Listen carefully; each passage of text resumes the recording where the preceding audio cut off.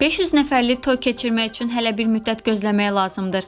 Milli.az xəbər verir ki, bunu Ayrı 24-ün iş vaxtı verilişində həkim Vasif İsmail deyib. O bildirib ki, 2022-ci ildə belə 500 nəfərlik toyların keçirilməsinə icazə verilməsi gözlənilmir. Vasif İsmail onu da qeyd edib ki, yaxın günlərdə Bakı metrosu fəaliyyətini bərpa edəcək. Əgər aktiv xəstə sayı mart ayının sonuna kimi 20 min nəfəri keçməsə və gündəlik yoluxma sayını 1000-1100 arasında saxlaya bilsək, yaxın günlərdə metronun yolunun açılması mümkündür. Metropolitndə həftə sonu aparılacaq yoxlamalar da göstərir ki, artıq açılış üçün hazırlıq görülür. Azərbaycan İnsan Hüquqları üzrə müvəkkili Ombudsman Ermənistan Ombudsmanından beynəlxalq strukturlara şikayət ünvanlayıb. Publika.az xəbər verir ki, Ermənistan Ombudsmanı Arman Tatoyan bunu İrəvanda keçirdiyi mətbuat konfransında açıqlayıb. Şikayətdə Tatoyanın Ermənistan tərəfindən 2014-cü ildə Qarabağda girov götürülən ondan çox məhbus və Şahbaz Quliyev ilə Dilqəm Əskərova qarşı qəddar və zorakı davranışlarından bəhs edilib. Bildirilib ki, erməni hüquq müdafiəçisi əsir və girovların görüş tələblərini tələblərini qəbul etməyib. Xəbər verdiyimiz kimi özünü videobloger kimi təqdim edən Ata Abdullayev saxlanılıb.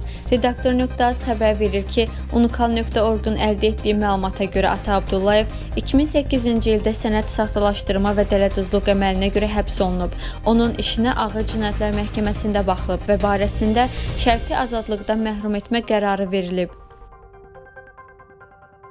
Ermənistan Xarici İşlər naziri Ara Ayvazyanın Ermənistanda hərbçilərin bəyanatının Paşinyandan fərqli olaraq dövlət çevrilişinə cəhd kimi dəyərləndirilməməsinin səbəbi bəlli oldu.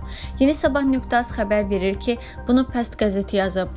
Ayvazyan Paşinyan hökumətində 10 noyabr bəyanatından sonra işləməyə izin verməklə tələyə düşdüyünü anlayıb və belə demarşla sonuncunun onu qovmağa çalışmasına cəhd edir. O başa düşür ki, indiki mərhələdə Paşinyanın hökumətinin əməkdaşlarına, xüsusilə də məğlubiyyətdən sonra təyin olunanlara heç bir əfv olunmayacaq. Ayvazyan çalışır ki, həyatında bu biabırçı səhifəni çevirə bilsin. Yeri gəlmişkən bir neçə gün əvvəl yazmışdıq ki, Xarici İşlər Naziri də vəzifəsindən azad ediləcək. Bizim məlumatımıza görə o iki dəfə işdən azad olunmaq barədə müraciət etsə də Paşinyan onu qalmağa razı salıb ki, situasiya pisləşməsin deyə xəbərdə bildirilir. Qeyd edək ki, ötən gün Ayvazyan Əl Ərəbiyyə kanalına müsahibəsində baş qərargahın bəyanatının hərbi çevrilişə cəhd olmadığını bildirmişdi. Qədim Romada qulağında halqa gəzdirən bir dəstə adam vardı. Bunlar danışdıqları sözə görə məsuliyyətə cəlb olunmurdular. Çünki cəmiyyət bu şəxsləri səfih olaraq qəbul edirdi və onların kiməsə qarşı davranışları və söylədikləri hüquqi mübahisə doğurmurdu. Azərbaycanda bu kateqoriyadan adam obrazı barədə düşünərkən ilk öncə ağlıma gələn Sərdar Cəlaloğlu kimliyi olur. Yeni Sabah.az xəbər verir ki, bunu Milli Məclisin deputatı Fazil Mustafa deyib. Deputat qeyd edib ki, Sərdar Cəlaloğlu elmdən anlayışı olmadığı halda Nobel mükafatı alacağına özü ağılda olanları bir müddət inandırmağa çalışıb.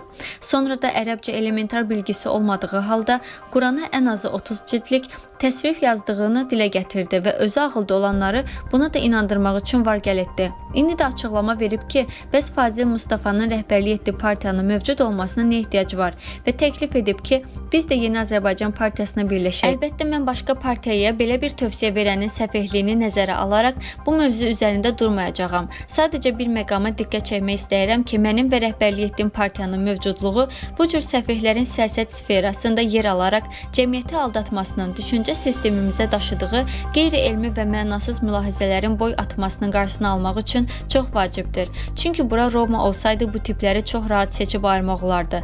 Ancaq Şeyx Nesrullahın ölü diriltdiyi yeganə məmləkət olduğumuza görə bu kimi qaraqörükçülara və milli səfehlərə qarşı mübarizə missiyasını ölkənin sağlam gələcəyini düşünənlər hökmən özlərinə götürməlidir deyə Fazil Mustafa fikrini tamamlayıb.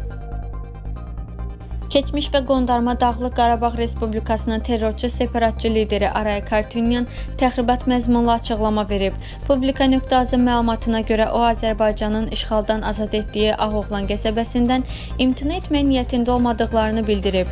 Artunyan mübarizənin dinc və danışıqlar yolu ilə davam etdiyini qeyd edib və müharibənin yenilənməsi təhlükəsi olmadığını bildirib. Heç kim uzun müddətli bir sülh perspektivinə şübhə etmir. Xüsusilə də Rusiya sülh məramlı kontingentinin mövcudluğu nəzərə alınaraq.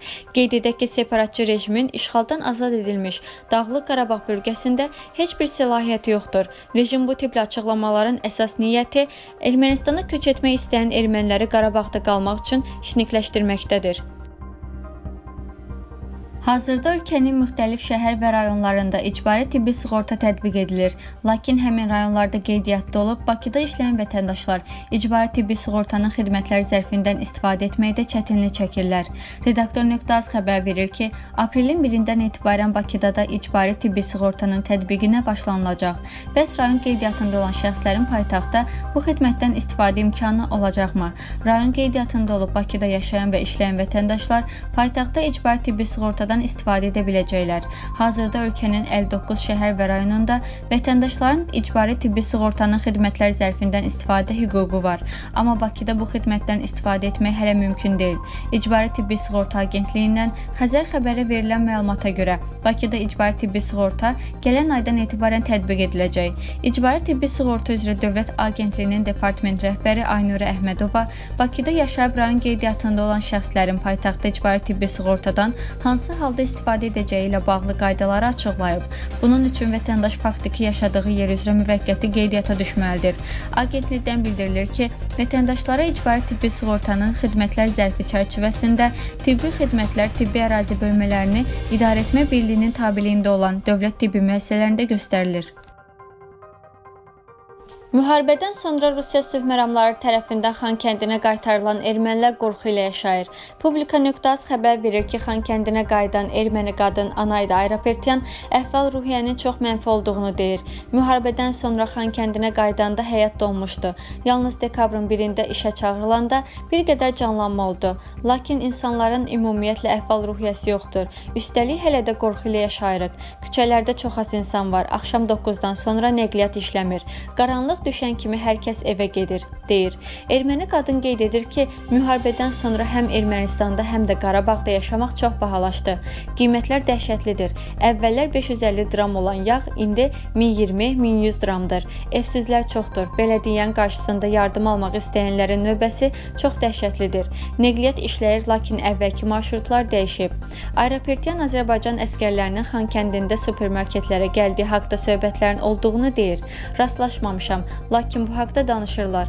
O müharibədən sonra geri qayıdan ermənilərin qeyri-müəyyən əhvalda olduğunu qeyd edib. İnsanlar heç nə etmək istəmirlər, hətta işləmək belə istəmirlər. Qeyri-müəyyənlik var, insanlar ümidsiz haldadırlar. Əvvəllər kəndlərdə yaşayanlar torpaqda işləmək istəyirdilər, amma işləmələri üçün torpaq varmı? Müharibə bitib, lakin yenidən başlaması haqqında söz-söhbətlər gəzir. Hətta müxtəlif tarixlər haqqında da danışırlar. Ayın 12-si yaxud 16-sı və s. Vəziyyət qeyri-müəyyəndir, o bildirir. Arapetyanın sözləri Qarabağa qaytarılan ermənilərin burada yaşamaq istəmədiklərini təsdiqləyir. Onlar üçün həyat perspektivi yalnız Azərbaycan vətəndaşlığı altında yaşamaqdır. Təbii ki, seçim özlərinindir. Ya Azərbaycan vətəndaşı olaraq yaxşı şəraitdə yaşayacaq, ya da Ermənistana gedəcəklər. Beynəlxalq Qırmızı Xaç Komitəsi Qarabağ münaqişəsi nəticəsində itkin düşmüş şəxslərin taleyinin müəyyən olunması ilə bağlı işləri davam etdirəcək. Milli Nöqtaz bildirir ki, bunu trendə Beynəlxalq Qırmızı Xaç Komitəsi Bakıdakı nümayəndəliyinin rəhbəri Aryen Baryer deyib. Onun sözlərinə görə müstəqil və neytral humanitar təşkilat olan Beynəlxalq Qırmızı Xaç Komitəsi münaqişə nəticəsində zərər çəkmiş şəxslərə kömək göstərməyə çalışır və beynəlxalq humanitar hüquq normalarına əməl olunması üçün əlindən gələni edir. Bu ildə biz bu istiqamətdə fəaliyyətimizi davam etdirəcəyik. Bu münaqişənin təsir etdiyi bölgələrdə işləyirik və insanların təhlükəsizliyinin artmasına, iqtisadi və psixoloji sabitliyin təmin olunmasına çalışırıq. O bildirib ki, Beynəlxalq Qırmızı Xaç Komitəsinin əsas tərəfdaşı olan Azərbaycan Qızıl Aypara Cəmiyyəti ilə əməkdaşlıq çox vacibdir. Əməkdaşlar və könüllülər ehtiyacı olan şəxslərə kömək göstərilməsində vacib rol oynayır. Biz həm də münaqişə ilə əlaqədar saxlanılan şəxslərə də baş çəkəcəyik. Azərbaycanın əsir və itkin düşmüş, girov götürülmüş vətəndaşlarla əlaqədar dövlət komissiyası ilə əməkdaşlıq fəaliyyətimizin daha bir aspektidir.